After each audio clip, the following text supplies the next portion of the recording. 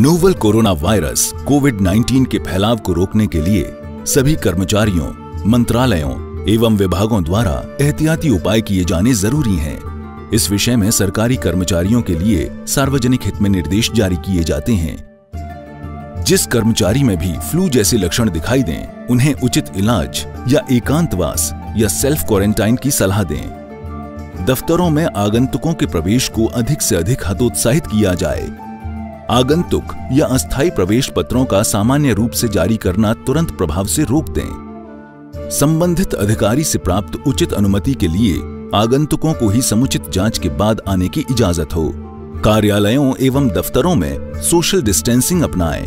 कम से कम एक मीटर की दूरी में बैठकर कार्य करें। जहाँ तक संभव हो, मीटिंग वीडियो कॉन्फ्रेंसिंग द्वारा संचालित करें।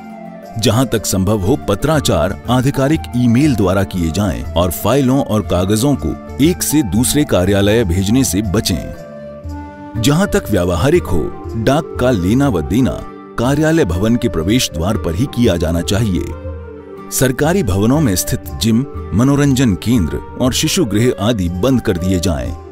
कार्यस्थल पर विशेषकर बार बार छुई जाने वाली सतहों की उचित सफ़ाई और निश्चित अंतराल पर सैनिटाइजेशन सुनिश्चित करें। शौचालयों में हैंड सैनिटाइजर, साबुन एवं चलते पानी की नियमित आपूर्ति सुनिश्चित हो। श्वास संबंधी रोग या बुखार के लक्षण होने पर कर्मचारी अपने उच्चाधिकारी को सूचित करके तुरंत कार्यालय छोड़कर घर पर स्वयं को क्वारंटाइन करें।